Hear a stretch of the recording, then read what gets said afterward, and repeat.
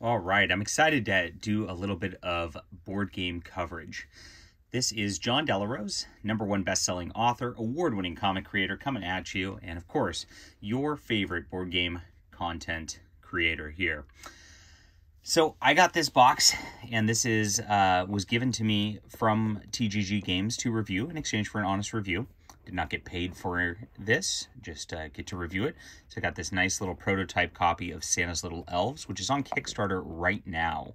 And uh, I wasn't sure what to expect about this. This is a small box game, which I appreciate for my shelf space. Um, and I wasn't like super thrilled on the theme, to be honest, because uh, like Christmas is a cool theme. Uh, the elves stealing presents is kind of kind of an odd one, but it actually works out pretty good. And I'll get uh, into that in a moment. And so here it is, two to five players. It says 14 plus, but I played it with my eight-year-old, and my eight-year-old actually was the biggest fan of this game uh, when we played it. 15 minutes, yeah, about 15, 20 minutes, uh, depending on how many players you got, I think. All right, so you open it up. This is a nice touch. So you get this little like uh, stocking inside looking thing. It's, it's like a bag to, to hold all your tiles. And you got all your tiles. And it's by, the game's designed by Bruno Faidutti. Fiducci? Fidu, Fiducci with a T. And I know that name, uh, and I don't know why. but basically you get all these tiles, you mix them all up, and you, what else is in here? You got a little board. There you go. You put all of them uh, over on the tile on the board, and then you got this dice. And the dice is actually not, where'd the dice go? Dice is actually not for rolling. But you flip them all up, so you got your, your uh, here's your, whatever these toys are right here. You got your dolls here. Worth three points. That one's worth two points. And uh, you got a broken toy here. And this actually loses you points if you end up with that. Or uh, you you can, I think when you when you get it off of here, you can actually choose who it goes to. And so you try to like get rid of these because it's minus, minus five points. And so you go, okay, um, I you, you secretly choose a number. So if I secretly chose five, say say my opponent thinks I really want dolls or something like that because it's a three. Well, I he'd choose. He'd go. Well, he guesses. Then or the person next to you guesses. He goes, "Hey, I think you chose four. You go, "Nope, I chose five.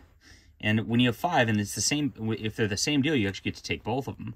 So then you'd score four points of these. Now there's like two different types, and you get uh, point bonuses for different types, uh, depending on what you got, if you got the most at the end of the round also.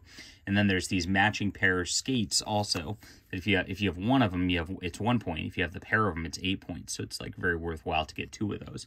There's a bunch of other like ability tiles uh, here. Um, and I forget what they all do. um, they, there's a, there's a nice little handy spot in the rule book that tells you about the abilities.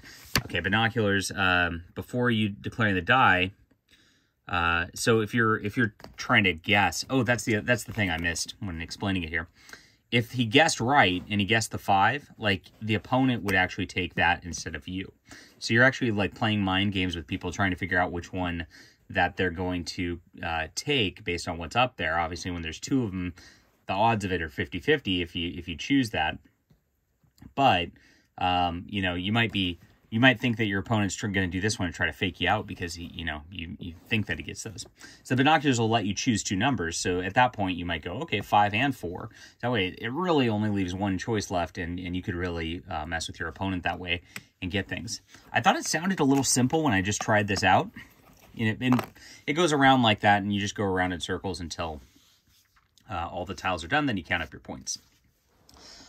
Like I said, I thought it might be a little too simple at first, but it's actually really fun. And like as, as like a as a family game, I gotta say, um, you know, uh, my my kids, one brother messing with the other, uh, really enjoyed that aspect of it. Like they were laughing about it and having so much fun with it, and uh, they did want to play it again. So that's that's always a good thing. Um, and I thought it was actually enough of an interesting sort of feel, like especially given this is a quick game, uh, that I was perfectly happy to play this with the kids too. So good stuff um, all the way around. Simple, easy to learn and play. Um, and if you have any questions, I guess just let me know. This will be on Kickstarter. Look at the back. It's got the little presents. So they're all presents that you're stealing. Uh, so yeah, that's the theme uh, overall. It's elves stealing presents because, like, I guess Santa doesn't pay them very well, and so the elves are stealing the presents in order to like resell them themselves, and whoever gets the most presents uh, value wins. Is basically what it come is what the theme is. So it's it's pretty silly. It is a Christmas theme, but kind of an odd one, but uh, very enjoyable. Very enjoyable.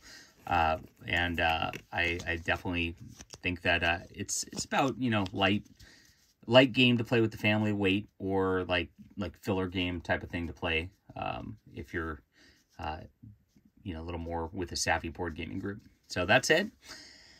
It'll be on Kickstarter, I think, for the next like 10 ish days or something like that. It's a pretty quick campaign. and It's already funded. Uh, so I can recommend this. TGG Games is a good company. I really like uh, them. I've bought a lot of games off of them and uh, very good customer service at that company also. So cool. I don't know if the production comp uh, has anything different for Kickstarter, but uh, this is pretty good. I, I know Kickstarter uh, offering has, uh, eight, I think, eight exclusive tiles for, for Kickstarter or whatever. Um, and I'm not sure if that was included in here, but um, you probably want to get on that now. All right. I'll have that link down in the description below so you can check out the game. And thank you very much, TGG Games, for providing a copy. We'll see you guys soon.